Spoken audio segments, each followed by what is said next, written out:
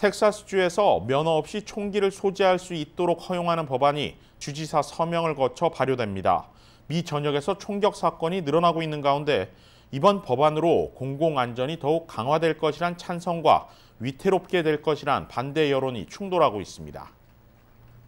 그렉 에버트 텍사스 주지사는 오늘 무면허 총기 소지를 허용하는 내용을 포함한 여러 개의 총기 규제 완화 법안에 서명했습니다.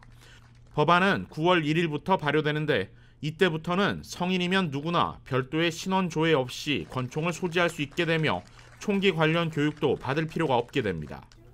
당장 이번 법안 서명으로 반대 여론이 들끓고 있습니다. 주내 여러 치안 기관들까지 이번 법안이 공공안전을 더욱 위협할 수 있다며 반대를 표명해 왔는데 정작 주의회와 주지사 생각은 다릅니다. Those who believe and support Second Amendment rights, we support the right of every law abiding American to be able to have a weapon to defend themselves. That is different from teenagers unlawfully getting access to guns to commit crimes. Those are people who deserve to be behind bars for the rest of their lives. 법안 통과를 지지해온 전미 총기협회 역시 즉각 환영 성명을 냈습니다.